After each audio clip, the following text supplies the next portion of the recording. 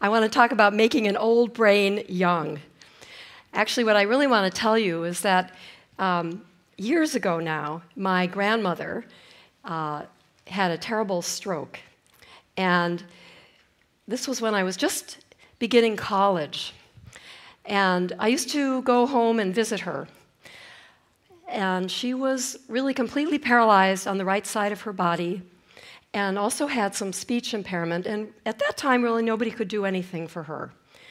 Perhaps because I was haunted by that terrible uh, incident with her, I became a neuroscientist. And I was captivated by how the brain wires itself during development, and particularly how it is uh, and why it is that the child's brain seems like such an amazing sponge. And it's so easy for children to learn languages and other things, whereas it's so difficult for us, particularly me, to learn French without an accent as an adult. And it occurred to me that if only we could understand the underlying cell and molecular mechanisms that regulate these critical periods, these early amazing sponge periods of development of the brain, maybe we could actually turn them back on in adulthood in aid of recovery uh, from stroke uh, or maybe even cognitive enhancement, or maybe I could learn how to speak French without an accent. So, what is a critical developmental period? Well, you know it just by experience. Language is a perfect example of such a period. It's really easy to learn one, two, three, even four languages as a child. You, of course, can learn language as an adult, but the quality of learning is very different. And also, it's really hard to learn the language without an accent. So, a critical period is a period during life when experience and brain circuit tuning is happening, and when it's only during that time that you can learn perfectly a certain skill. And of course, as I said, afterwards, you can still learn. So, how would you discover the underlying cell and molecular mechanisms for developmental critical periods? And the answer really is you're not going to do it uh, you know, as far as I know, mice haven't learned how to speak uh, French, but as an animal model, mice are wonderful animal models. And like us, mice have two eyes. And in fact, they have to somehow, the brain has to learn how to use those two eyes together uh, during a developmental critical period. So, if you've thought about it ever, have you ever wondered why it is that we only have a single view of the world, even though we have two eyes, and both eyes are sending separate, independent views of the world to the brain. And yet, we only see one world unless there's some kind of pathology. And the reason for that is in the brain wiring itself. And you can see that actually happening in the first few steps of visual information processing as the eyes send their connections to the brain. So, for example, you can see that individual eyes send their connections to one side of the brain, also to the other side. And the first set of information processing, those connections are kind of lined up in a set of rows right eye, left eye. And then there's a really important handoff here and that handoff then sends information to the next step in the pathway, which is the primary visual cortex. Now, I want to say something important about the handoff first. What I want to tell you is that the handoff is something very special. It's called a synapse or a junction. And that's where the information from one nerve cell comes to an end and then is transferred to the next cell along the road. So the synapse is composed of the end of one nerve cell and the beginning of the other, and that's actually where drugs of abuse work, for example. And remember this because you are your synapses. And what do I mean by that? I mean that learning happens at synapses, and synapses change with learning. Memories are stored at synapses, and, and, and sadly, synapses are lost in diseases like Alzheimer's disease, where synapses are pruned away. Now, if we follow the connections from the LGN, from this relay station up to the primary visual cortex, you'll notice another really cool thing has happened to the connections. They started out separately in the eyes, but in the cortex, you'll notice that the inputs from the two eyes are interdigitated with each other right eye, left eye, right eye, left eye, red, green, red, green. And this beautiful interdigitation then allows right eye to meet left eye by connecting with a common neuron, creating a binocular neuron. And this is the first time in the visual system that nerve cells get input from both eyes. And this is where this seeing happens, where you create this single view of the world coming from both eyes. And it's important because it gives us the ability to have bi- binocular depth perception. Now, it's possible to visualize these connections in real life by labeling the connections, let's say from the green eye with a white tracer. And then you can actually see those connections in the primary visual cortex. Let's say we're looking down and you can see these beautiful stripes of white, black, white, black, right eye, left eye, right eye, left eye. You can see these stripes. And at this scale, you can see that every little dot, which is the size of one of these synapses, is um, you can see it in relation to these things which are these grains of rice. So at that scale, you're looking at really hundreds of thousands of synapses, and what's so remarkable is that they're separated from each other quite beautifully into right eye and left eye stripes 50 50, even Steven. So when these stripes were first observed by David Hubel and Torsten Wiesel, who later got the Nobel Prize for their work, everybody thought they have to be hardwired in. They couldn't be left to chance because they were just so perfectly organized. But Hubel and Wiesel were very interested in understanding the mechanisms of congenital cataract in children. So, when children are born with a congenital cataract and they're blind in that eye, if the cataract is not removed promptly, they will never see through that eye.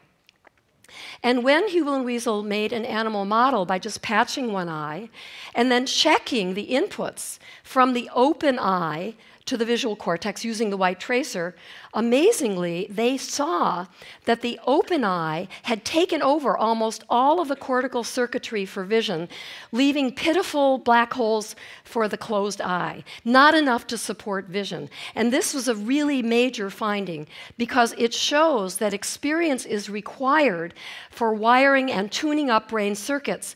And it's really a use it or lose it thing, and this is a very vivid example of the use it or lose it thing. By the way, this is also a really nice example of synapse plasticity. You know, the kind of thing that when you play brain games, people are talking about your brain plasticity. This is synapse plasticity in action, and it's really this um, takeover of uh, cortical circuitry according to use. Now, the other interesting thing is you know perfectly well if your grandmother, my grandmother Sonia, gets a cataract, then if she's had normal vision her whole life, and even if she has a cataract for a long period of time, if it's corrected by putting a nice new clear, clear lens, she can see fine. So, what's different between the child and grandma? And the difference is that these changes for brain wiring only happen during a critical period of development for vision. So, this is another great example of a critical period. And once these circuits are formed and these beautiful stripes are formed, they become stable and they, they they're no longer susceptible to change with experience, which is a good thing because we don't want all our, brain, all our synapses changing all the time um, in that kind of global way. Now, what's actually going on with this synapse plasticity during this developmental critical period? Well, some of you may know that as babies, we're actually born with more synapses than we have in uh, adulthood. And in fact, during critical periods of development, some synapses are selected and stabilized with use, so they're actually really important targets of use. And others, if they're not used, are actually pruned away and removed. And synapses are necessary for learning and memory. So, this pruning process really allows us to have stable circuits as adult. And as I said, we can still learn, but this kind of pruning doesn't happen in this wholesale way in adulthood.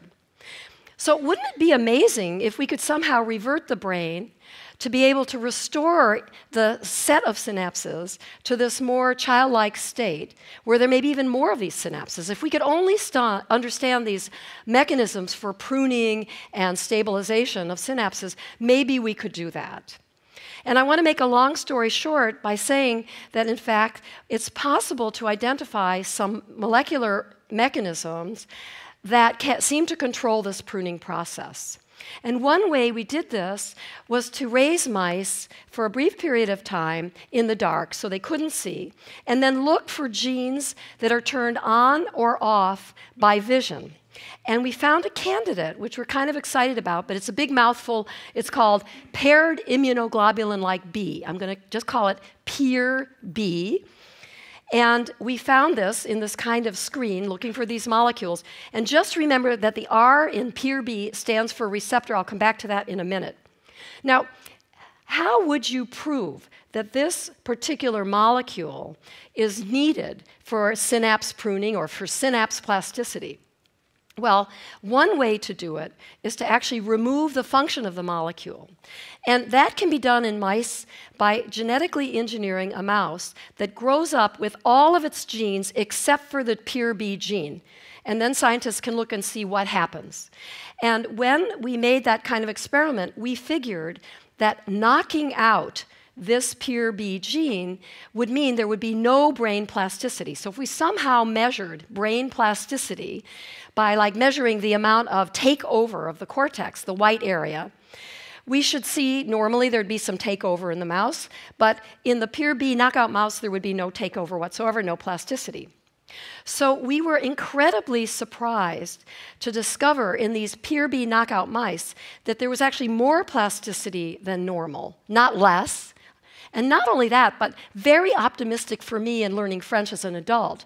We discovered that even in the adult, there was some plasticity left. And in fact, that plasticity, um, it, it, wasn't as much as in, uh, in development, but promising. It was sort of promising. Because remember, normally the critical period closes, and then if you patch one eye in a mouse, you don't see any uh, expansion of the other eye. But here's a mouse that still has expansion. So what, how is this working? We need to understand how is it working. And so one idea might be, you actually know the answer really, because I told you. It might be maybe the number of synapses are different in the PirB knockout mice than in normal mice that grew up with PirB. So we did an experiment where we simply counted on our favorite nerve cells in the visual cortex. We counted the synapses, and in this case, we counted the little knobs that are on the synapse, that are on the nerve cells, and those are the postsynapse. So we counted them. And lo and behold, what we discovered is that there were many more of these synapses, which really are the sites for plasticity in the PirB knockout mice than in the normal mice that grew up with PirB. And not only that, but there were more of those synapses present in the adult mouse brain in the PirB knockout mice as well. So that's kind of exciting. And the question really is do we actually know enough to make a pill? At this point, right? And could I take the pill and could I learn French finally without an accent? So the answer is really kind, is kind of promising because remember I told you about the um, R in PirB. So the R in PirB is for receptor.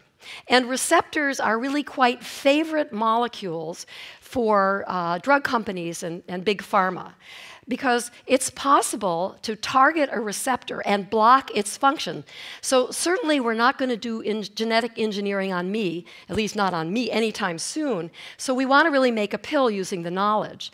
And receptors are molecules that transmit information from the outside of a cell to the inside of a cell to do work. In this case, the PirB receptor is transmitting information about from these yellow ligands on the outside of the cell, and that's driving this pruning signal to get rid of, um, to get rid of synapses. So we can make a pill. In fact, we can make a little proto pill based on our knowledge of PirB structure. And we can actually block this signaling, and, and, and, and instead of genetically engineering, we can prevent the PirB receptor from working.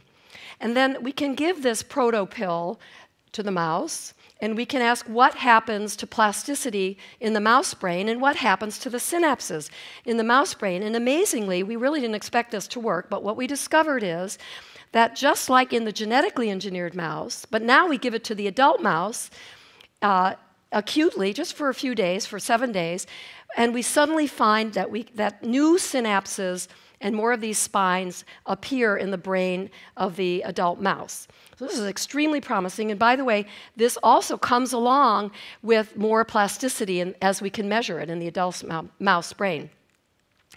So when we discovered this, if my grandmother was only here now, she would have said to me, Carla, I want this pill as soon as possible. And um, you know, I probably would have said, yeah, great idea, Grandma, but not so fast. Because let's think about this a minute. We don't know really how this pill works. What if you took this pill and, in addition to creating new synapses where new learning can occur, what if you also lost the synapses you already have where old memories reside? So we got to do more work on this pill. And remember, it's just in a mouse. It's not actually in it's not for us yet. It's not ready for prime time yet. But I think the message that I've learned from these experiments is that the adult brain, whether it's a mouse or a human, has more plasticity in it than is normally used. And some of the plasticity is braked and is available under the right circumstances to be recruited for th- things like brain uh, repair of the brain after injury or possibly even maybe it could be used in treating and curing Alzheimer's disease by putting back synapses for new memories. And all I can say is grandma I just wish you were with us now because maybe there would be something more for you. Thank you.